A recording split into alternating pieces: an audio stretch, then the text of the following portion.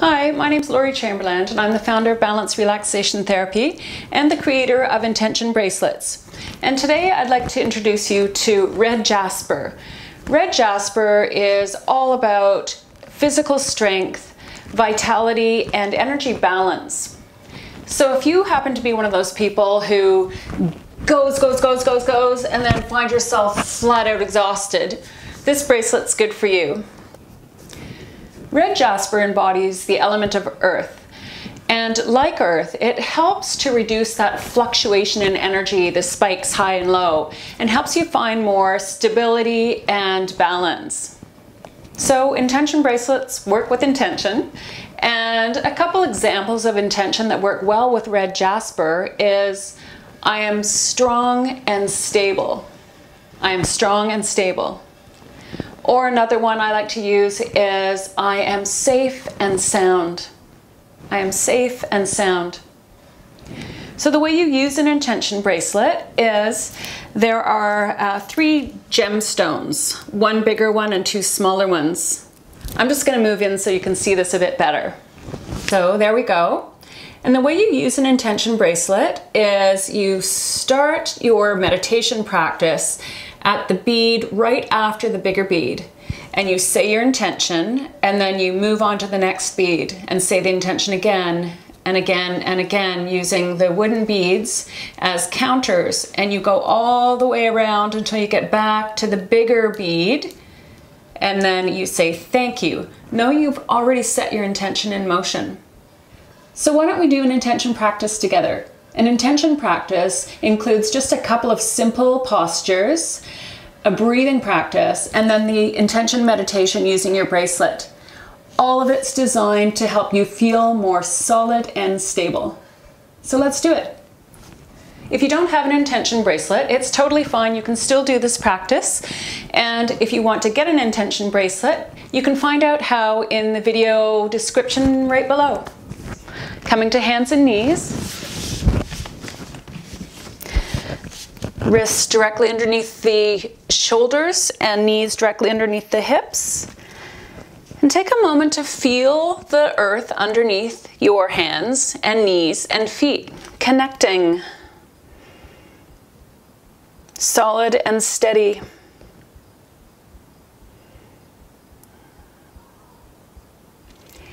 Inhaling into the base of the spine and exhaling out through the palms and the knees and the feet, anywhere that's in contact with earth. We'll do that a few times. Neck is in line with the spine and your core is strong here. Elbows soft. Breathing into the base of the spine and out through the palms, the knees, the tops of the feet.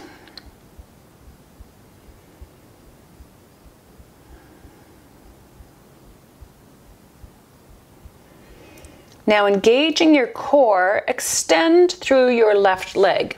Foot is flexed and the leg comes up to hip height, keeping both hips pointing down towards earth and extending through your right arm. So right arm, left leg, and feel the strength of your core.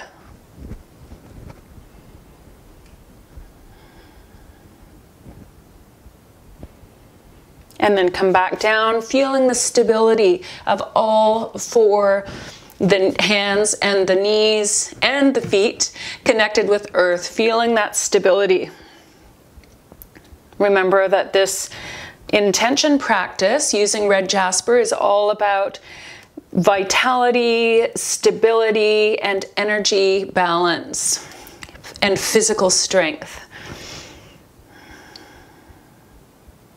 And let's go to the other side now. So this time the right leg extends and left arm extends. Let me move back. ah, tight spaces. Good, so foot flexed, fingers pointed, gazes down at your mat. Imagine looking right into the core of the earth, nice and steady. Feeling that core and your inner strength your physical strength, really feeling into the body. That's what earth is all about, embodying yourself. Beautiful. And then come down once again, feeling that stability of the two hands, the knees, and the tops of the feet connecting with earth. Inhaling into the base of the spine, exhaling through the palms, through the knees, through the tops of the feet.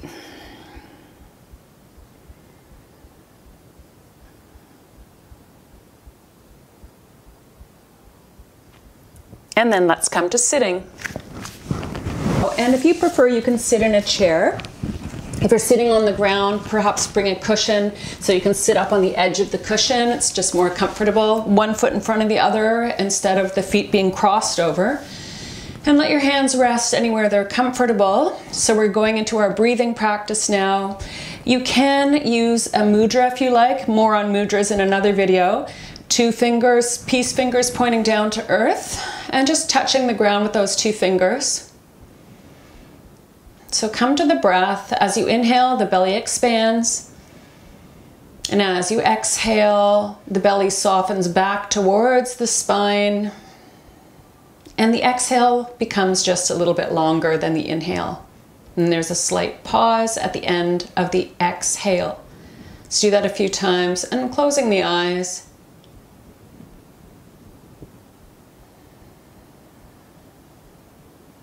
Inhale through the nose, belly expands. Spine is long and relaxed. On the exhales, imagine breathing out through the tailbone down into earth.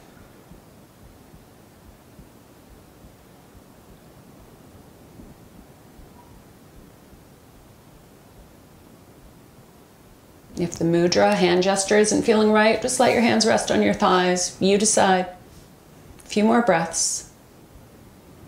Belly expands on the inhale, softens back towards the spine on the exhale, breathing down as if you're rooting down to earth through the sitting bones. Exhales just slightly longer and notice the pause at the end of the exhale. Three more just like that.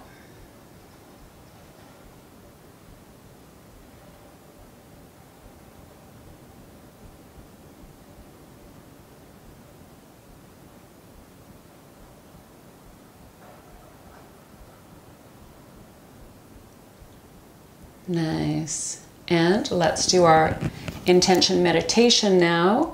And let's use I am safe and sound. I am safe and sound. Starting at that bead, first um, gemstone bead right after the bigger one. And I'm just going to say this out loud, but you can say it out loud or to yourself, just depends on how you feel. So let go of the breath, it just becomes natural. I am safe and sound. I am safe and sound. I am safe and sound.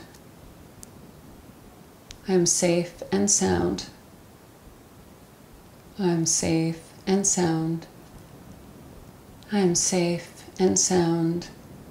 We'll continue in silence until we get back to the big bead